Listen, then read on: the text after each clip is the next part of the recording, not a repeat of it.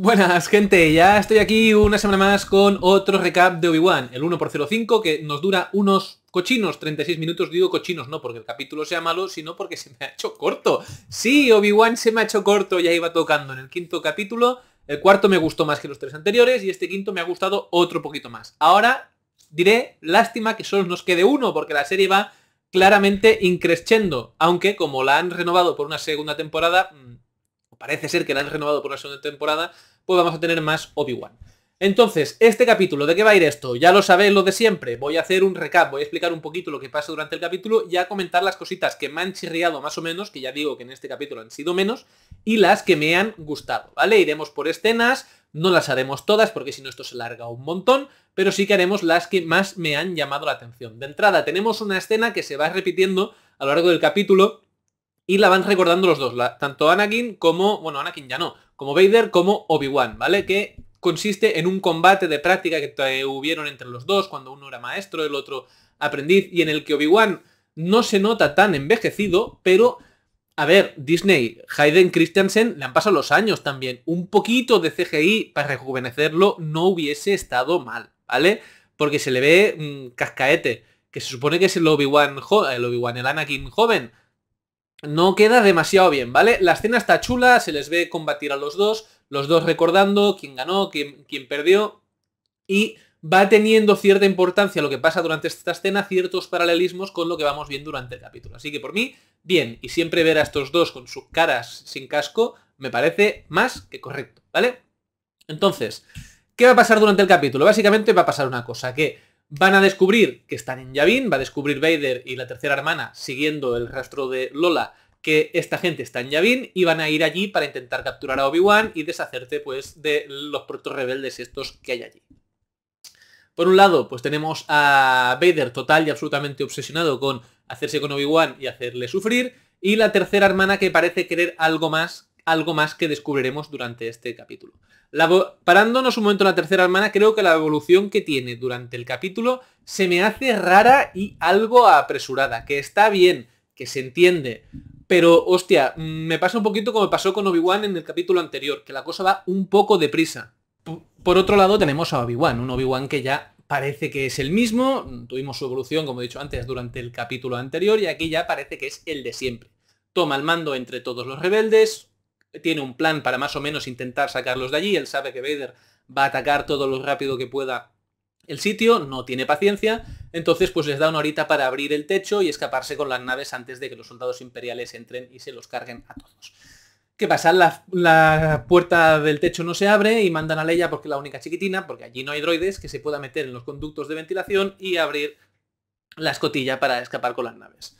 Mientras pasa todo esto, Leia acepta, se mete por allí, le da sus cosillas al bueno del Jedi este de pacotilla, al Eterno, que le llamo yo, y se va a hablar Obi-Wan con la tercera hermana. Mm, básicamente lo que quiere hacer es ganar tiempo para que no se carguen la puerta, porque los hemos visto a los imperiales bombardeándola afuera con un cañón de estos fijos, pues se va a intentar ganar algo de tiempo para que los demás puedan escapar. Se va a la puerta, habla con la tercera mano y tenemos una escena que a mí me ha gustado mucho, creo que es la primera escena más allá de la acción, más allá de lo mejor o peor hecho que esté el capítulo, que sí que tiene chicha, porque conocemos, ya tocaba un poquito, el pasado de la tercera hermana. ¿Quién es esta chica? Pues básicamente ya nos lo íbamos oliendo, era una Padawan que estaba en el templo Jedi, cuando se cumplió la Orden 66 y Anakin con los soldados atacó y empezó a acribillar a todo el mundo. Esta estaba allí, vio a Anakin hacerlo, por eso sabe que Anakin es, Vader, que parece que es un secreto que nadie más sabe, y eh, sabemos que se hizo la muerta en ese momento para que no se la cargaran, y desde entonces ha intentado mm, llegar cerca de Vader para cargárselo. Como ve que Vader es mega ultra super poderoso, pues no lo ha hecho nunca, está como un poquito cagada, pero bueno, Obi-Wan le pide su ayuda, eh, la otra le dice que no, que funciona mejor sola y básicamente se separa, ¿vale? Entonces en ese momento se separan, ella se cabrea, abre la puerta con el sable láser, algo que podría haber hecho antes, pero que no le apetecía, entran por la brecha y tenemos tiroteo, un tiroteo que si no te paras a pensarlo está bastante chulo, porque van entrando imperiales allí, gente sin entrenamiento se los va cargando como si fuera un poquito su turno, y al final, pues acaban cayendo un par de personajes importantes. Eh, entendemos por importantes el robot que no habla y la soldado esta que les salvó en los dos últimos capítulos, ¿vale? Eh, ella se inmola para que Obi-Wan pueda huir. Y eh, hay una escena aquí épica que la verdad es que está bastante bien hecha, con la música acompaña, es un momento bastante, bastante, bastante guapo. Si no fuera por el previo de ver soldados caer a puñados, cuando es que son más y llevan mejores armas, mejor equipo, mejor armamento, más entrenados, pero bueno, ya sabemos que los soldados imperiales le disparan a alguien a un metro y no le dan, ¿vale? Pero tenemos un par de bajas, tenemos a Obi-Wan un poquito de aquella manera y diciendo, mira, hasta aquí hemos llegado, yo salgo, debo enfrentarme a Vader, debo enfrentarme a, Anakin, toma para ti mis cosas, se las da al Eterno y hay otras formas de luchar. Que es una frase muy Obi-Wan y que está muy, muy, muy guapa. Llega la tercera mana y le dice que le ofrece a Vader, que lo que va a hacer es eh, entregarse él para luchar los dos contra Vader y bueno, más o menos lo tenemos allí, ¿vale? La tercera hermana en una escena bastante surrealista lo mete para adentro, lo vuelve a meter a las cuevas con un par de soldados. Vemos cómo se escapa básicamente en off, nos da bastante igual. Vader llega, entra al sitio y mientras Leia ha conseguido abrir el techo y hacer que la gente eh, consiga huir. Empieza la huida, toda la gente se va para las naves, la Leia arregla su robotito, arregla la Lola, le quita el de este que ya no tiene luz roja, vuelve a ser azul cositas que pasan en Star Wars, no lo habías podido ver, que las luces eran distintas, ¿no? Cosas que pasan. Y parece que todos se van a escapar y tenemos la llegada de Vader a la base viendo cómo se va la nave. Y tenemos un escenón visual, al menos en lo visual es muy guapo, con Vader parando la nave con la fuerza, bajándola al suelo, reventándola simplemente usando, usando la fuerza. ¿Y qué pasa? Pues que nos han hecho la de, la de Chihuahua. No sé si recordáis en el episodio, creo que era el 8 o el 9, en el que vemos cómo se va una nave que parece que lleva Chihuahua de prisionero. Pues no, había otra. Pues sí, aquí había otra nave que es donde van todos los rebeldes y consiguen escapar. ¿Dónde estaba esta nave? Mm, ¿Qué la camuflaba? Vete tú a saber. Pero estaba por allí y consiguen escapar con la otra. Mm, cositas de estas que me da la sensación de que no se han pensado demasiado, pero bueno. En estas que consiguen escapar todos y la tercera hermana aprovecha el momento en el que Vader está distraído para atacarle por la espalda. Vader en una escena de combate que la verdad es que está bastante bien, sobre todo me gusta del primer trozo en el que es tan brutalmente superior que directamente la esquiva, la para con la fuerza y le da absolutamente igual lo que le eche la otra. Al final le acaba dando un combate más o menos digno, sable contra sable, él gana, la deja mal herida, tirada en el suelo. Y vemos que Vader pues sabía quién era la niña esta, vemos que el inquisidor se ha hecho, el gran inquisidor se ha hecho el muerto y la dejan allí tirada en el suelo y como muerta los eh, imperiales se ponen a perseguir a, la nave en la que va Obi-Wan y la tercera hermana se queda tirada en el suelo.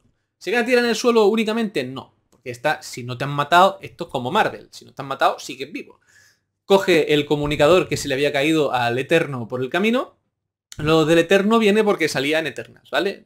Pero bueno, que se le caía el comunicador, ve el mensaje de Organa y descubre pues que algo de los niños, porque el mensaje es un poquito crítico, si no sabes de lo que viene, sumar 2 más 2 tampoco es tan fácil. Algo de los niños, el sitio donde parece que hay un niño, mm, supongo que debe pensar que debe ser algo similar para, para Obi-Wan, como la niña esta, como la Leia, y da la sensación de que se va a ir para allá, se va a ir a donde está Luke, porque lo tenemos con una última imagen a Luke de niño durmiendo.